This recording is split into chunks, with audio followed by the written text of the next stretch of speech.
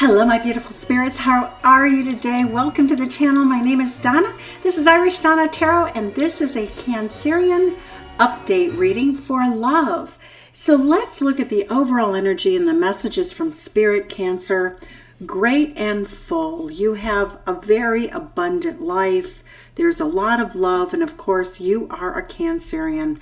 You always create love, you bring love you just have a very, very full heart and you do have a lot of gratitude.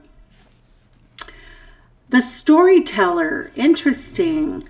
There's something that's going on in your love life right now that makes you feel as though someone may be telling you tall tales or something inspirational. It's going to be hard to tell until we clarify the reading. You are in uncharted sea right now, Cancer.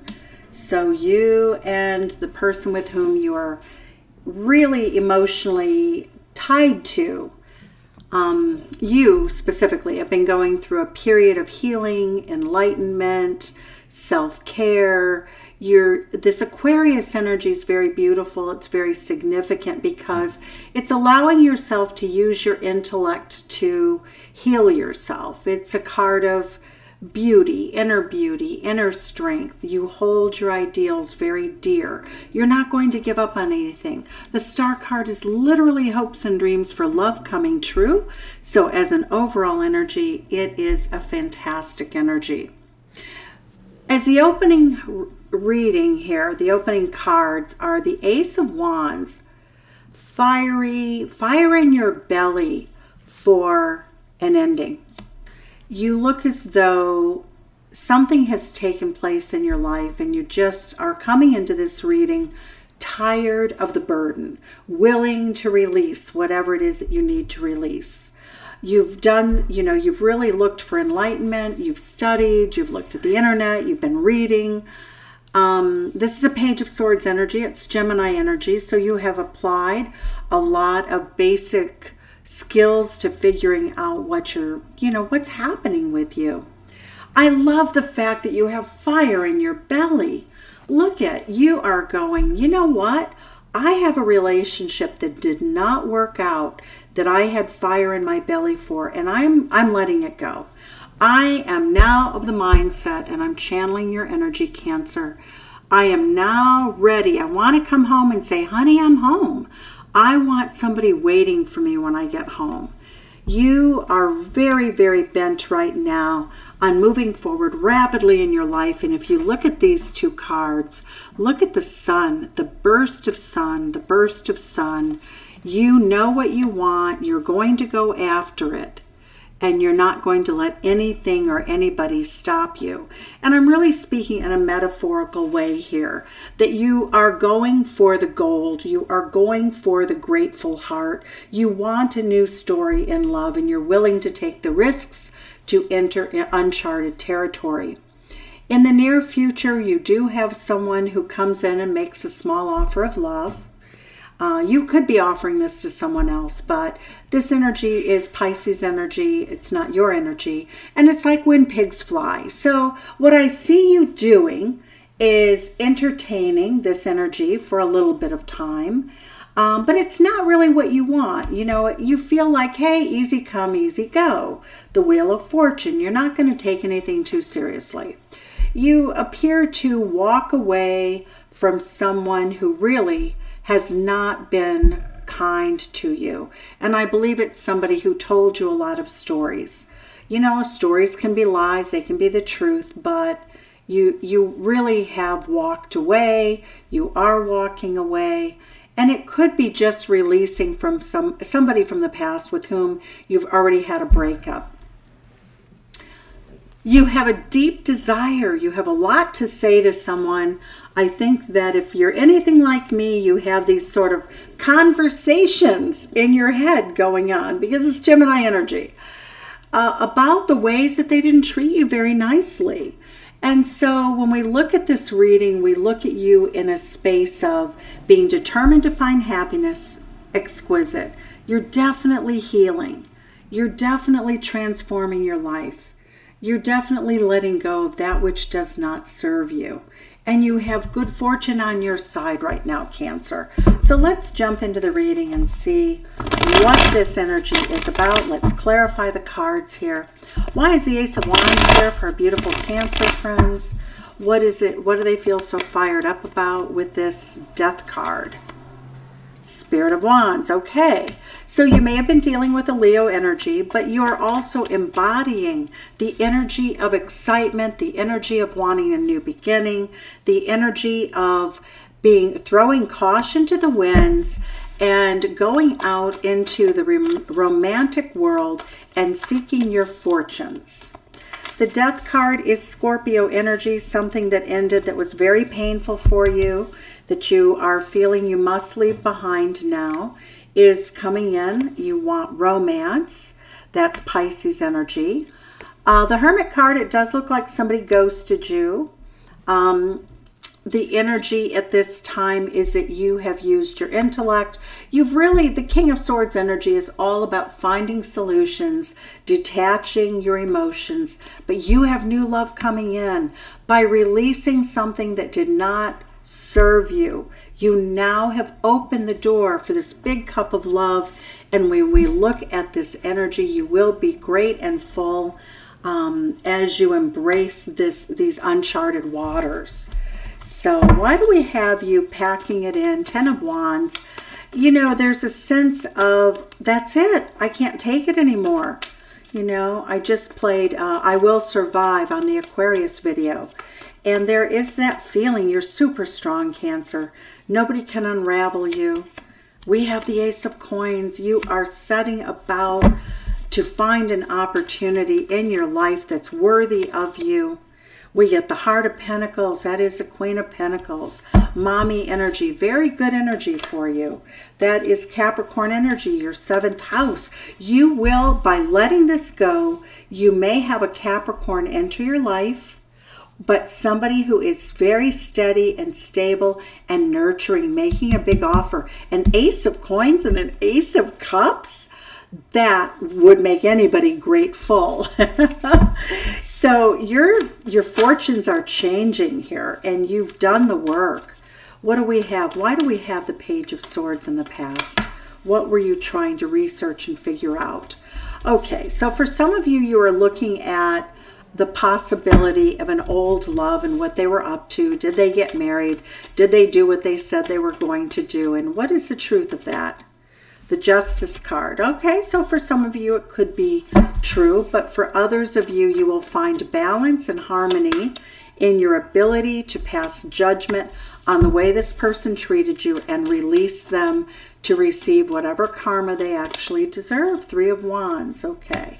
So it does appear for some of you uh, that your person went off in another direction and that you're coming to peace with that. You may have done, you know, Truth Finder or something like that to help you investigate with this Page of Swords.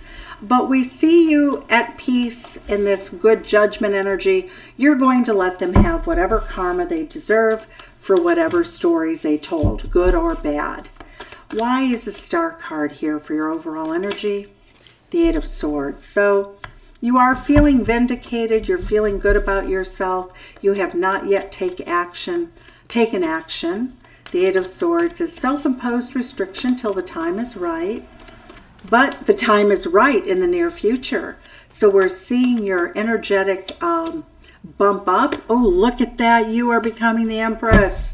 You are traversing the emotional depths and you are finding love, happiness, but you have found your inner empress and you are moving forward rapidly.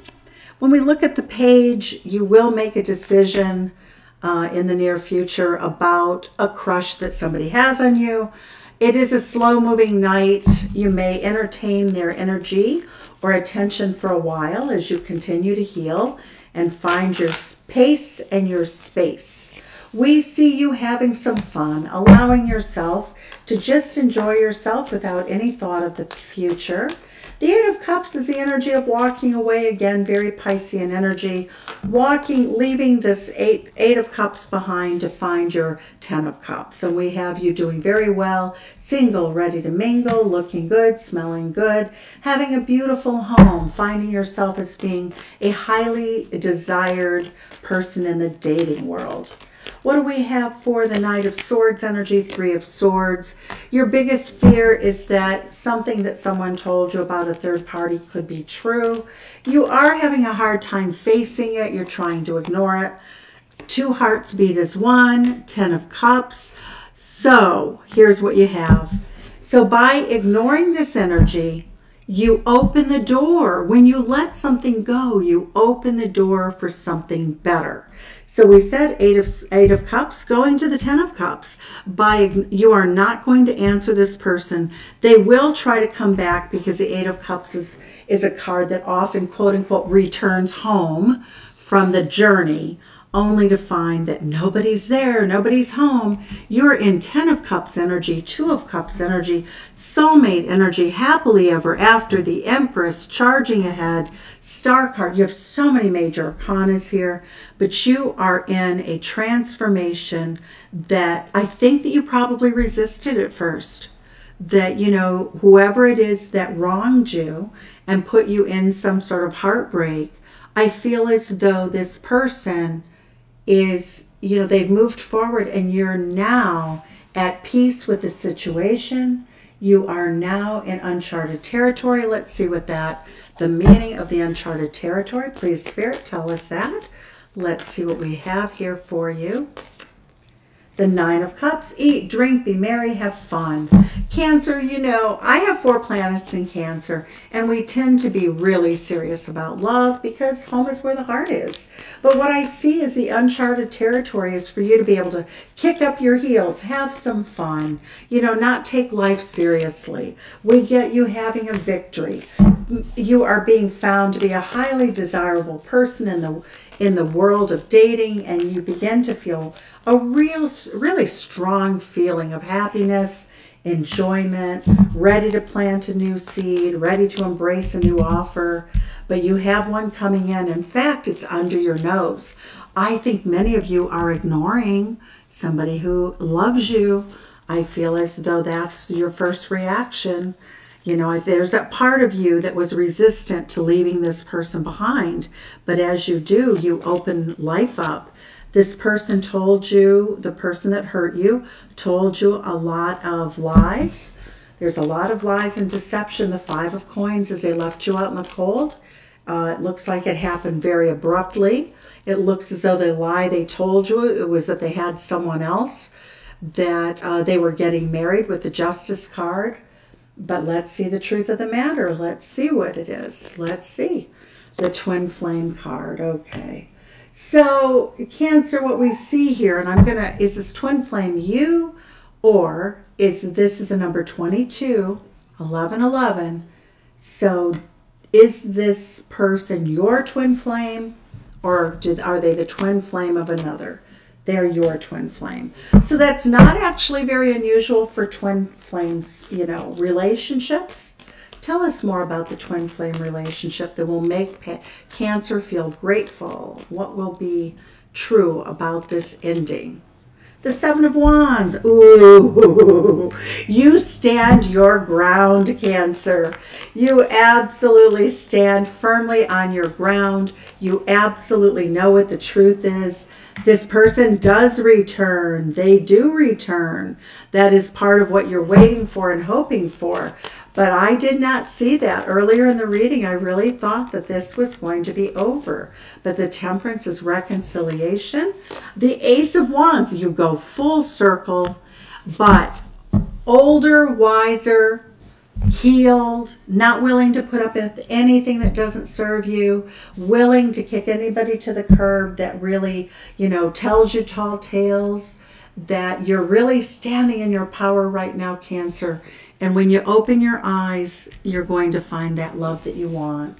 So sending you love from Chicago. Send some back. Tell me where you're from. I'm so excited about this for you. We also have horoscopes for December coming up later this month. Stay tuned, and I hope to see you in, again in another video. Thank you. Bye-bye, Cancer.